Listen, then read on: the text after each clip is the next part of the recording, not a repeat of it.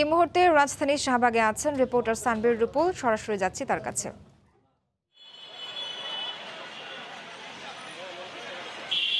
বাতাসে বহিছে প্রেম, নয়নে লাগিল নেশা। কারা যে ডাকিল পিছে, বসন্ত এসে গেছে। হ্যাঁ শাহবাগের ফুলের রাজ্যে এখন বসন্ত এসে গেছে।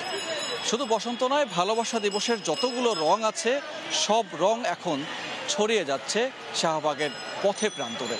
এবং এই দিবস দুটোকে ঘিরে মানুষজনের যে উচ্ছ্বাস, সব উচ্ছ্বাস, উৎসব হয়ে মিলেছে একটি মোহনায়, সেটি শাহবাগের ফুলের দোকানগুলোতে।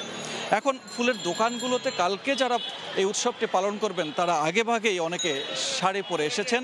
প্রেমিক, প্রেমিকা যারা আছেন, তারা এসেছেন তার প্রিয় মানুষটিকে ফুল উপহার দেওয়ার জন্য। এবং সেই ফুল নিয়ে তারা কালকে উৎসবটি পালন করবেন, তাই আগে থেকেই প্রস্তুতি।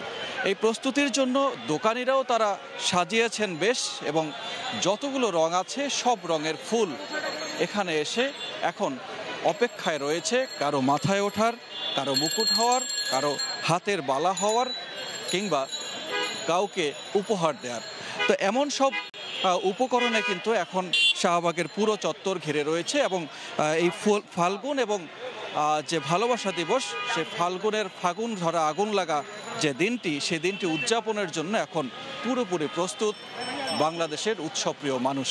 এই উৎসবটি শুধুমাত্র একটি বয়সের বা একটি বর্ণের, একটি ধর্মের নয়, এটি এখন যেন সার্বজনীন উৎসবে পরিণত হয়েছে। এই উৎসবের ঘিরে যতগুলো রং আছে, সব রঙের মানুষগণ সব রঙের জামা কাপড় পরে এবং সব রঙের ফুল হাতে নিয়ে কিন্তু এখানে অপেক্ষা করছেন। কেউ কেউ উপহার দিচ্ছেন, কেউ আবার বাসায় তাদের ফুল কিনে নিয়ে যাচ্ছেন প্রিয় মানুষটিকে উপহার দেওয়ার জন্য।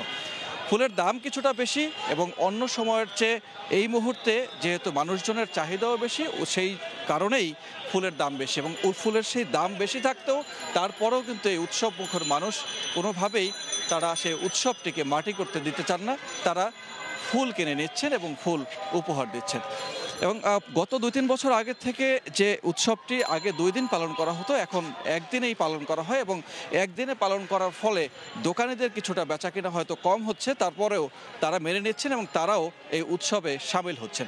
এবং একই রকমভাবে আপনি দেখতে পাচ্ছেন যে প্রত্যেকটি ছবি যারা ছবি তুলছেন, সব ছবি যেন এখন উৎসবের রঙে রঙিন হয়ে আছে।